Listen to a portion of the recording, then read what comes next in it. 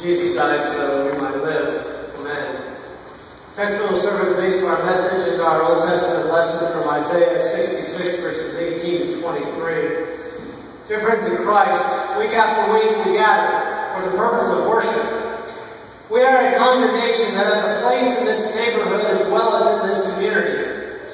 We are a congregation that is part of something bigger than what we experience on the local level. Part of the denomination, part of God's church that connects us to Christians around the globe and Christians of all ages. You see, in the midst of routine, it's easy to become complacent or to take for granted the power and purpose of being God's people gathered around His Word.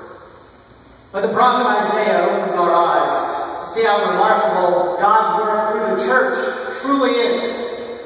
We are blessed to be a gathering of God's people.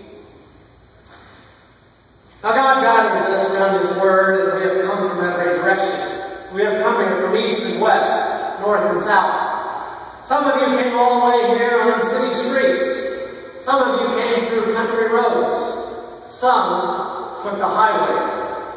If we have come from all these directions, just picture all the places from around the world from which God gathers people to Himself. God gathers people who are very different. We represent a wide variety.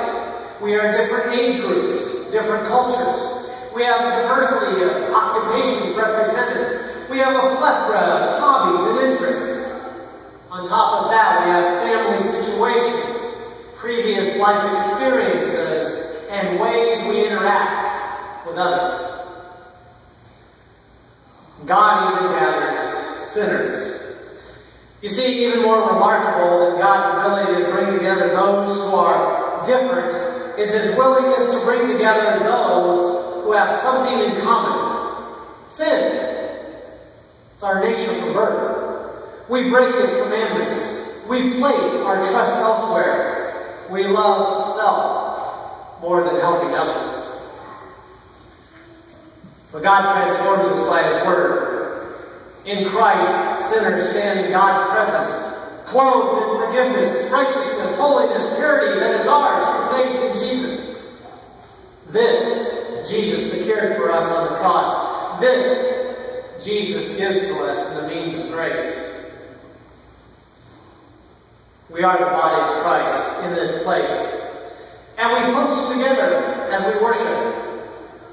One part plays the organ, one reads the Old Testament lesson.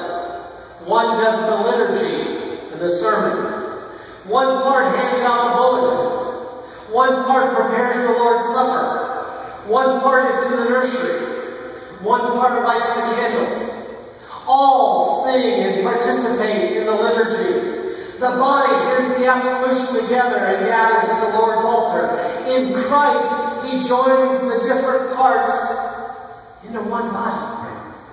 Our differences are sealed with a unity that allows them to be used in service to one another. Today is our church picnic, and we see that reality. It takes many different volunteers doing so many different tasks for the building up of God's people. We grow as we worship and then fellowship together. God sends us out with His Word. You see, God's plan and desire is that all nations and tongues would be gathered to His presence. Gathered from every corner of the earth. Gathered as brothers and sisters. Gathered in continual worship. The church is God's instrument. Set in and where He sends us to the world. To declare His glory to all nations Globally, the church is taking the gospel to every tribe and tongue, every religion and false religion. We have overseas missionaries.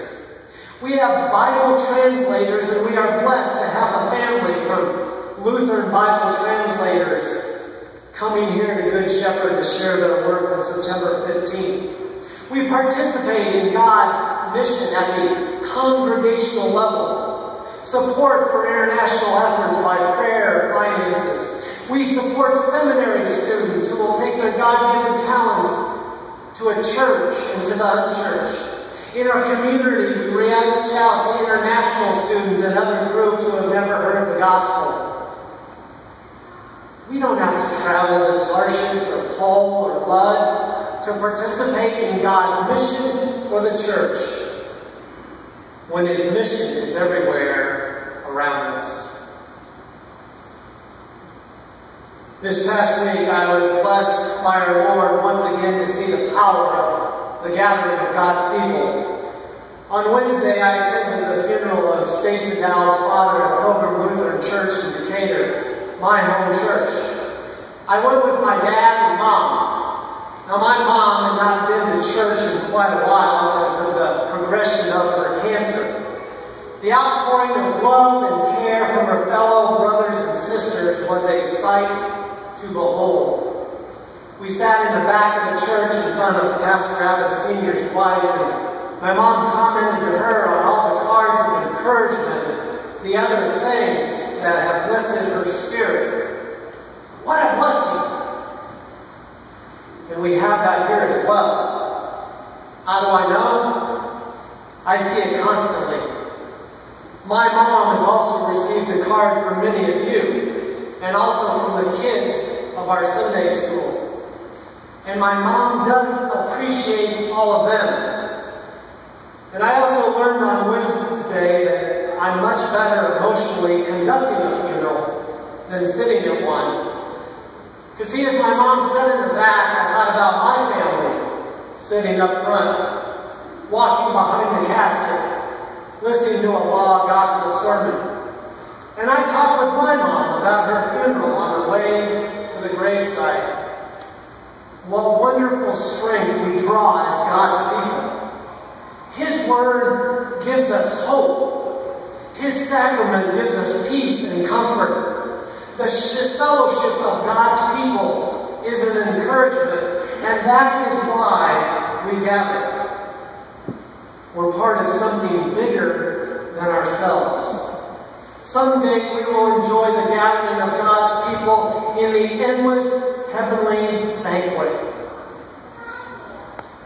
So go east, go north, go west, go south, into your communities and neighborhoods and workplaces and schools and clubs and parks and homes as forgiven and spirit-filled children of God, declaring His glory.